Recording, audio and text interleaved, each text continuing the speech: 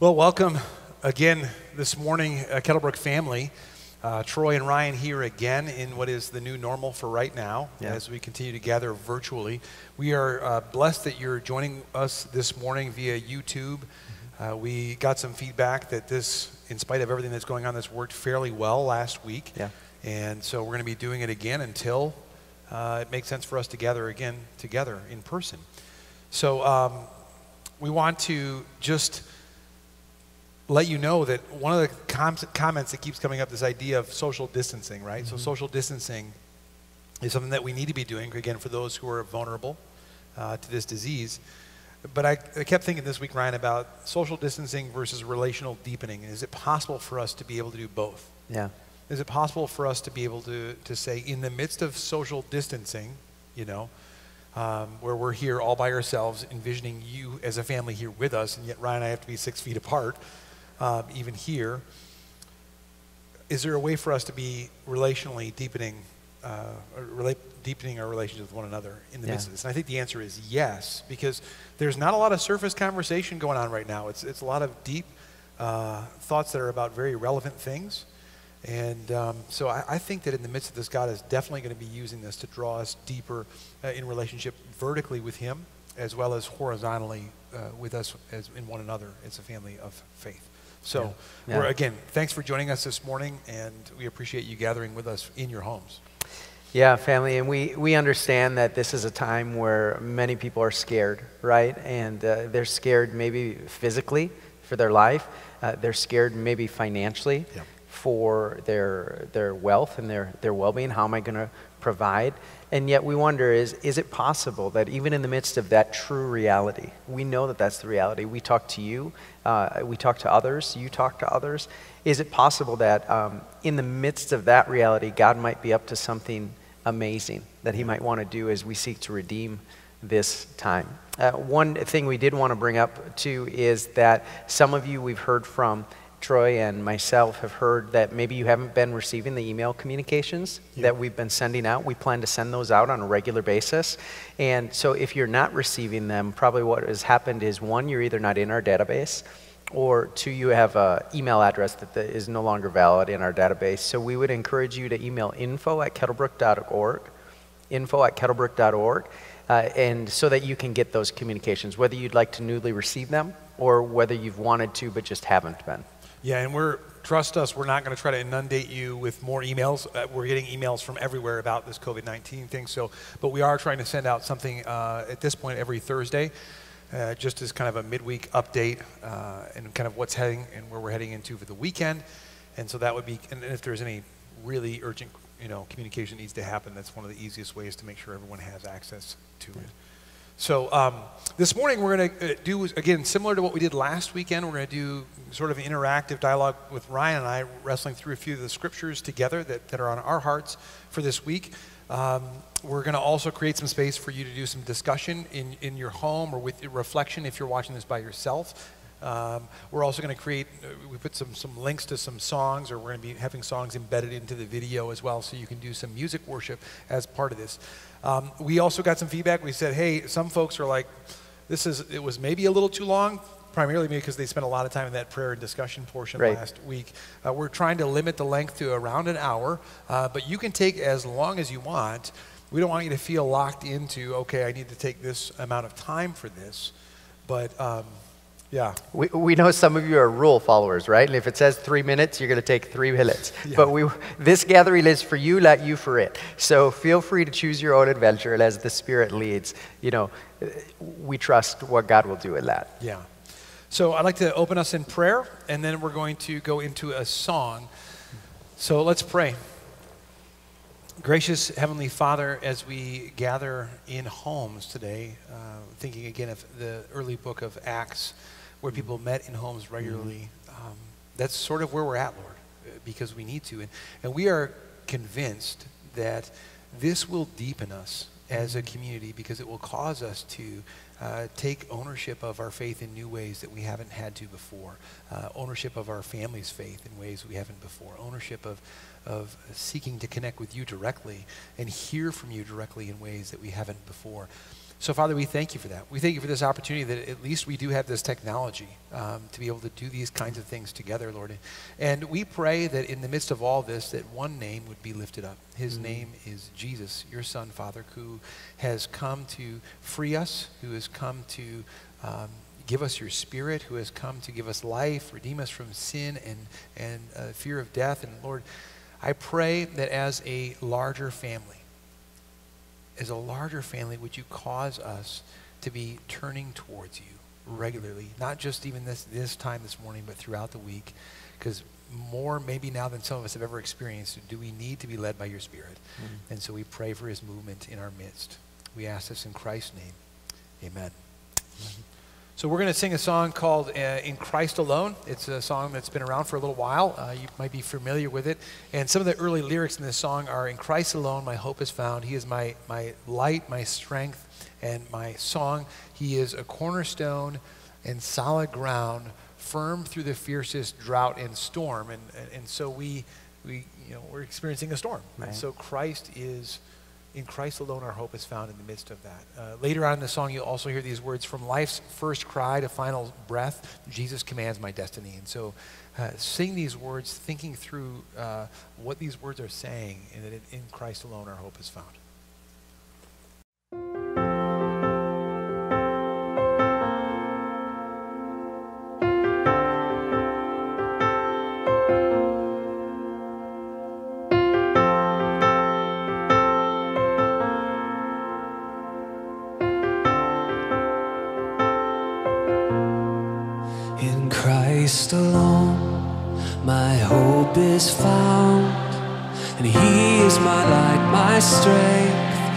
My song. This cornerstone, this solid ground, firm through the fiercest drought and storm. What heights of love, what depths of peace, when fears are still when striving cease, my comforter, my all in all. Here in the love of Christ, I stand.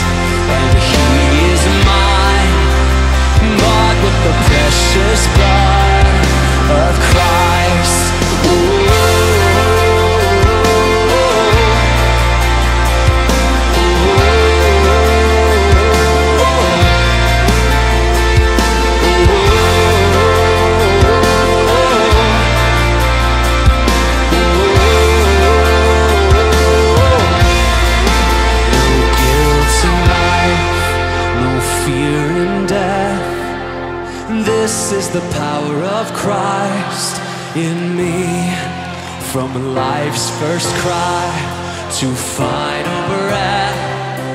Jesus commands my death.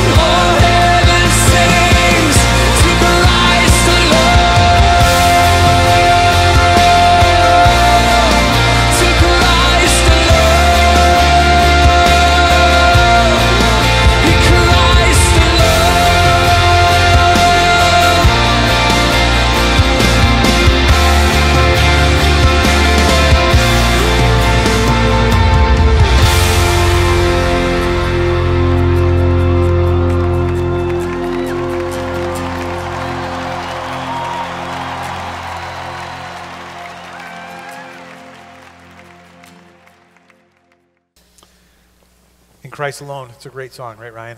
It is. Um, so this morning, uh, we'd like you to grab a Bible and open with us to Hebrews uh, chapter 2. Uh, for those of you who have Bibles, please, I don't know what page to tell you to open them to. Like typically, we have the same shared Bibles here in, in the gathering space, but Hebrews chapter 2 is where we're going to be. Uh, if you don't have a Bible, um, we're going to put it up on the screen too, which Ryan knows it's not my favorite way to do it, but I, I totally, if, if, you're in a place where you, you don't have a Bible, um, there should be one on your phone probably if you can do an app, but would encourage you to open with us to Hebrews chapter 2. There's some things in uh, this chapter that really struck me this week, Ryan, as we were continuing to wrestle through the reality that we're facing. And I just want to share those things with us as a family of, of faith. So, Hebrews chapter 2, verse 8, the second part of verse 8 says this. In putting everything under him, God left nothing that is not subject to him. And him in that case is Jesus. Okay? Yet at present, we do not see everything subject to him. But we see Jesus, who was made a little lower than the angels, now crowned with glory and honor because he suffered death, so that by the grace of God he might taste death for everyone. In bringing many sons to glory, it was fitting that God, for whom and through whom everything exists, should make the author of their salvation perfect through suffering. So I want to uh, skip down now to verse uh, 14. Since the children have flesh and blood, he too shared in their humanity, so that by his death he might destroy him who holds the power of death, that is, the devil, and free those who all their lives were held in slavery by their fear of death. So, so a couple things really stuck out to me this week uh, specifically. First, if you look in verse 8, it says, um, Yet at present we do not see everything subject to him.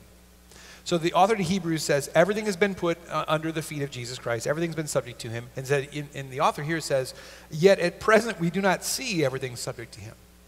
I mean, how relevant is that? Right now, I, I think this is some, to some extent control, right? Mm-hmm. Like we feel to a great extent out of control in new ways in this last month, few weeks. And, and so some of you are like, yes, I feel completely out of control. And, and we have our lives so often uh, uh, functioning in ways that we can control many things. Mm-hmm. And now those controls are, they're not ours. Right.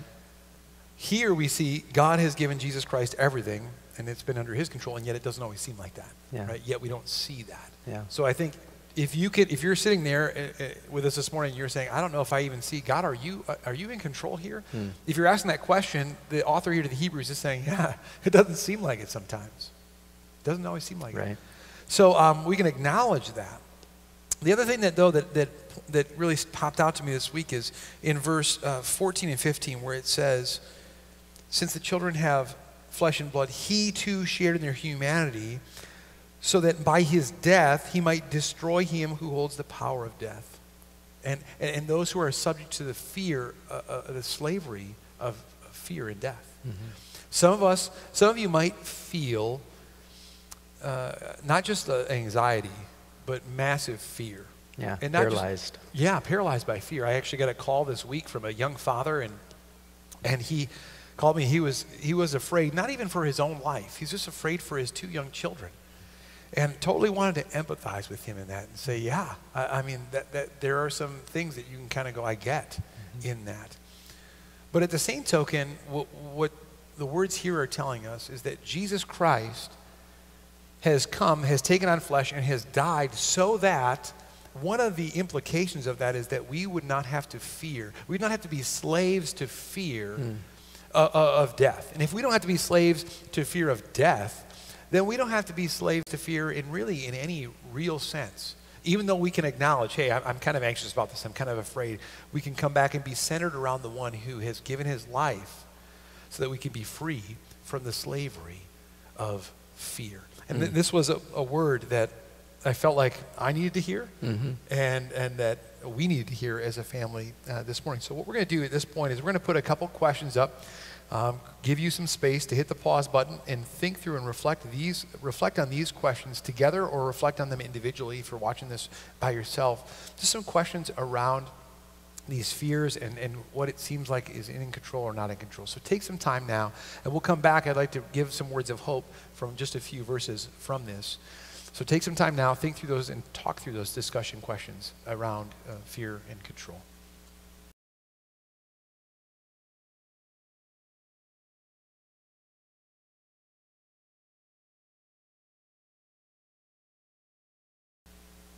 So hopefully there was a fruitful dialogue in, in that conversation or the reflection, maybe if you're journaling or just processing through these things. We got some good feedback there last week. Really, people appreciated the, the chance just to process through the Yeah. reality of it.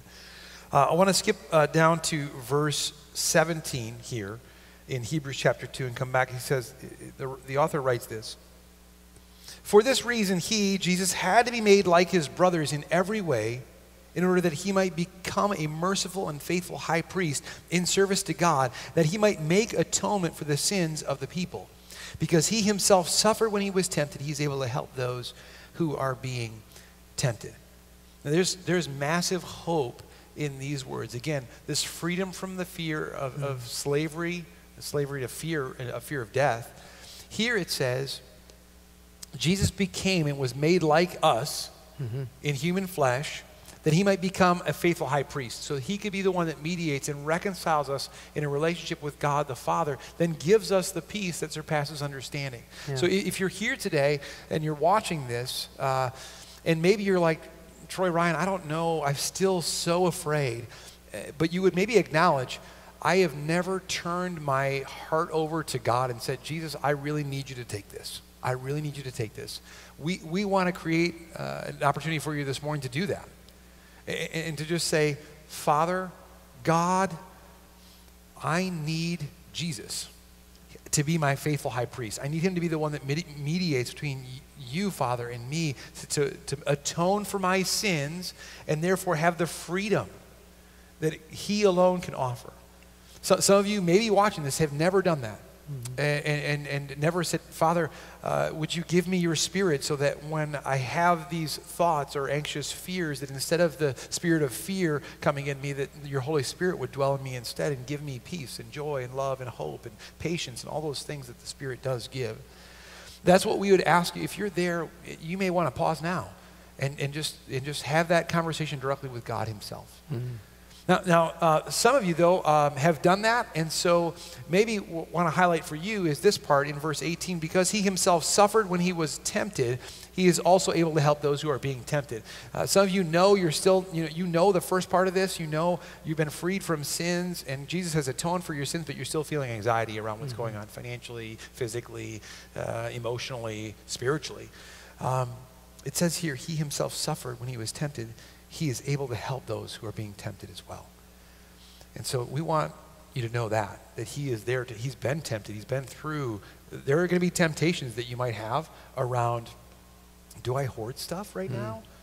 Um, do I, do I default to self-preservation? Do I lose a lot of sleep? Do I, am I tempted to, to try to grasp the control that I don't have?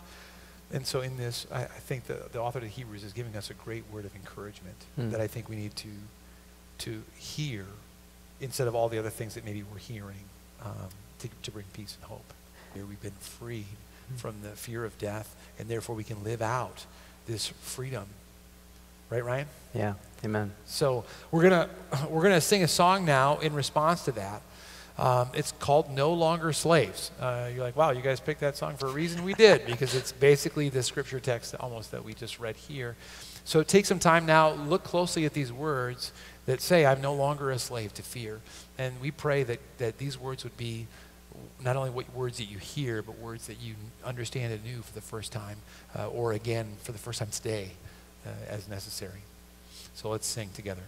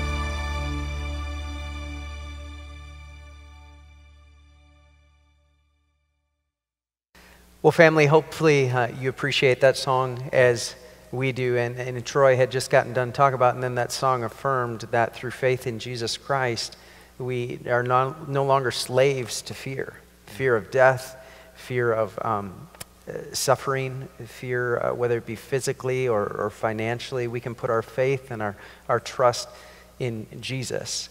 And because when we do that, we're freed from fear and we're freed to faith. And I was thinking about, as we think about this crisis, Troy, I was thinking about there's kind of two attitudes that we could go into this as the days go on and the weeks go on, and we don't know how long this is going to be. And the attitude we could have, one attitude, which I think would be fear based and which would uh, lead to some of the things you said, like hoarding and isolation more than is even necessary, and self preservation, would be a kind of this ride it out mentality. I'm just going to ride this out, and I just hope this ends as quickly as it can with the least amount of pain possible. And we understand that, right? Yeah.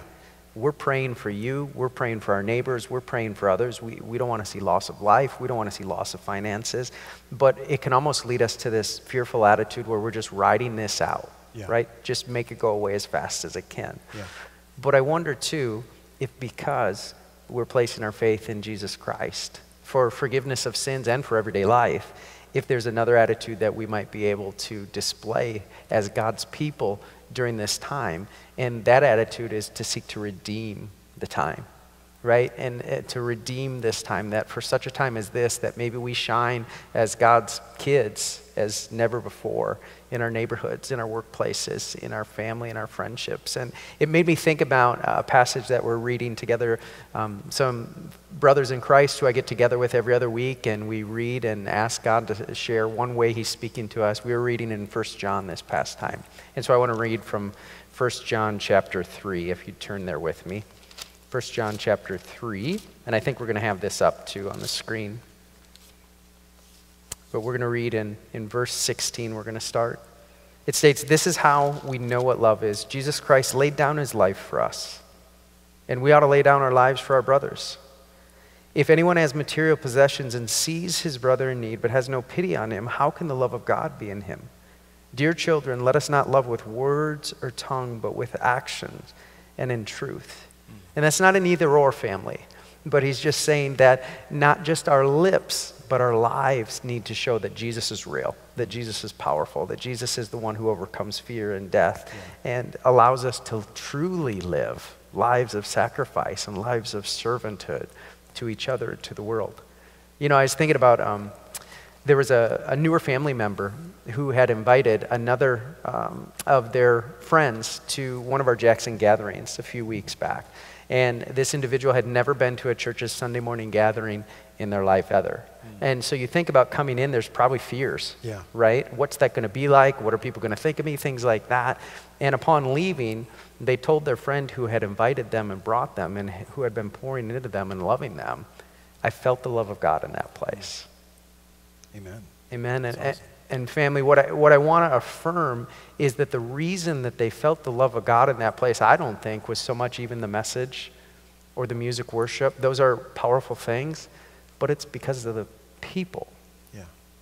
The people of God are the church, not a building, Yeah. not even a one hour gathering. The people of God are, are who and what shows the power of God. And that's what this individual experienced. And so now, as we are scattered and can't gather together, Yeah. might there be a, for such a time as this, that God shows his power and his goodness and his love and his compassion through you Yeah. through us, through this family, through the people of God in our neighborhoods, in our, in our uh, workplaces, everywhere we go. Because the presence of God is not housed at the Kettlebrook Community Center in West Bend or at the Jackson Community Center in Jackson. Uh, the scriptures say, Christ in you, the hope of glory. And that's talking about those of us who have placed our faith in Jesus Christ. Another story for you. Um, there is um, someone in our spiritual family who I was talking with just this past week, and they had had someone come into town from out of town who they had grown up with, a high school friend, and this person had not believed in God. In fact, they made it known that they were an atheist. Hmm. They didn't want anything to do with God. And it was so encouraging for me to hear from this family member that they spent four hours in a backyard talking about Jesus and basically walking from Genesis to Revelation. And this family member telling their, you know, what they thought to be atheist friend about Jesus. I mean, that's amazing. That's- yeah. And that's outside of a one hour gathering, right? That's the people of God showing the power of God, pointing others to Jesus. Yeah. And, and I think about this text, it talks about we know what love is because God showed us, and God showed us by laying down his life for us. And then he says basically, if that's what Jesus did for you, Then we That's what- Yeah. that's We- what we need to do for each other. Yeah.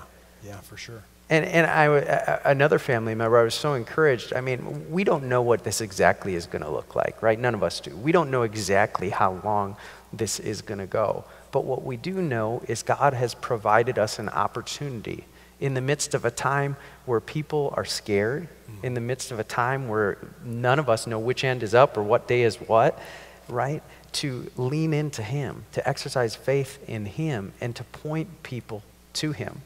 We had another family member who, um, this is so cool too, because all these things are happening outside of us.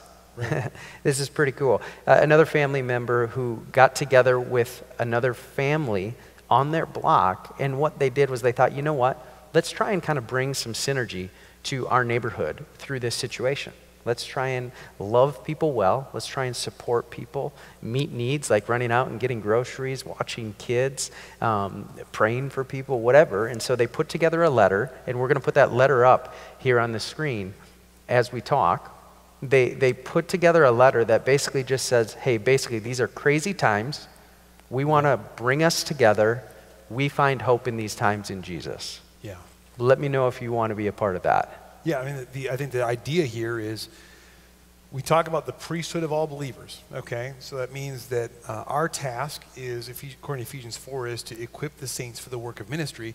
And I, I think right now uh, we're going to be testing whether we've been doing our jobs well or not. Uh, how, have we invested well into you, Kettlebrook family, over the past years to say that you're ready for the work of ministry that God's got in front of you right now? Um, because it's going to be able to be done by you. As, as we each take and become the pastors, shepherds, uh, followers of Jesus in our neighborhoods, on our streets, to say we want to be the ones who are, are reaching out to say, what do you need? How can you be served? How can you be loved well? Uh, because that's what we're called to, as you point out here in 1 John chapter 3, Ryan. Yeah, and, and I mean, it, exactly. And this family member inspired Troy and myself. We're both going to be working on doing this in our own neighborhoods. What would it look like if our whole Kettlebrook family littered, like not throw trash, but what if, what if we loved people well in our neighborhoods, let them know we were there for them, and did the same? Like, what if Jackson and, and West Bend and Kewaskum and Slinger and Hartford and Grafton and Random Lake, where, wherever we all scatter to, what if people there knew that there were people who followed Jesus who cared about them? And again, this is not sponsored by Kettlebrook.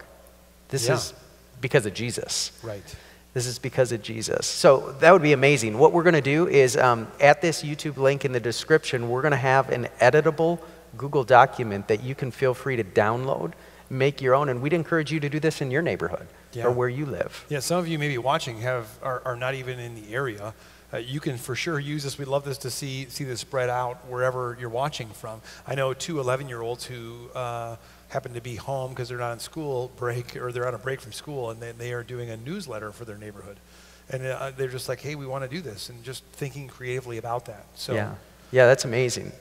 um, another idea that we have is uh, I have a, a brother-in-law who's in the healthcare system who sent me an email and he said, "Hey, blood supplies are are down because they're not doing blood drives like typical uh, in the community. So the level of blood is low, and there are uh, there's places right here in West Bend that you can donate blood, and so we're going to keep that link up there as well. If you if you find time on your hands and availability and you're healthy, you can go and donate blood because."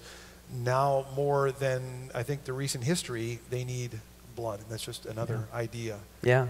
Yeah, I know a couple other ideas um, bring to mind is uh, we in our, I'm in a couple groups, but one of our group members offered just tangibly for their group, hey, if anyone needs help with childcare during this time. It was funny, they made a joke. I can't promise I'll feed them, but they can at least be at my house. That was a joke. But where they were going is, hey, we're here for you. Yeah. We've talked, I know, and I've heard other people talk about um, serving and loving those in the medical profession who are going to be on the front lines. I mean, think about the ways that you as a group, if you're in a group here at Kettlebrook, could love and serve each other in this time. The, the, the lists are probably bigger than we could imagine. You know, what about your groups coming together and thinking about how we could serve with each other for a common cause? Maybe, maybe that's something God would call you to.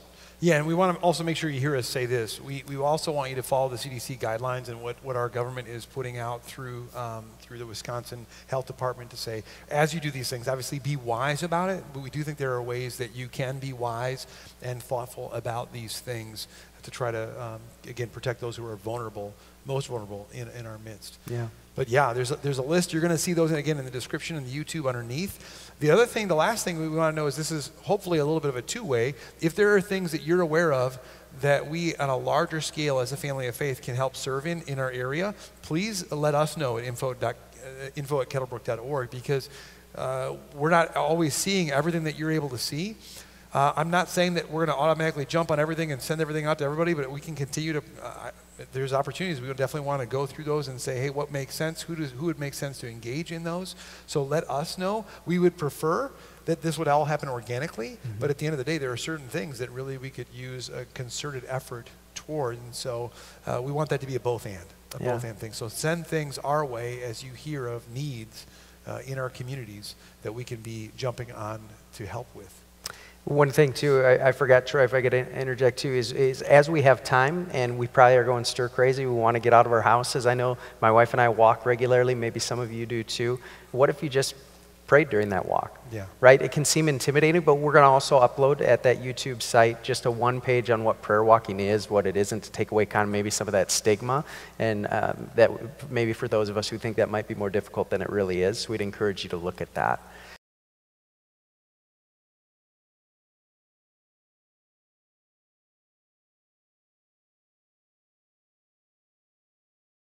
We're going to close uh, with the last song for the gathering. We're going to have a little bit after that, but the last song we want to close with is a newer song that we found um, that may or may not be familiar to you called Anthem. And it's our hope that as we've talked about this morning and as we continue to lean in um, and seek to lead lives that are courageous and follow Jesus and love others well, it's really about Him Yeah. Right? He's the anthem of our heart. He's the anchor of our soul. And that's what these beginning chorus verses will state. And so we'd invite you to, at your home, join in us as we sing, join with us as we sing anthem.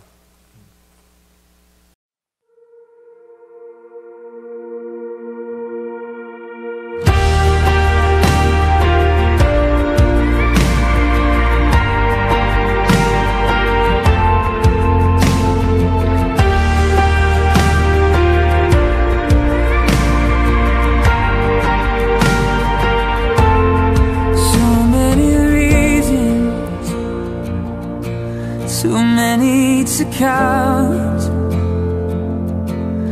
To say that I love you, to worship you now Your love is perfect, and your heart is kind. And I'm yours forever. Forever you're mine. Jesus, the anthem of my heart. Jesus, the anchor of my soul. I'm overwhelmed by all you are. Oh,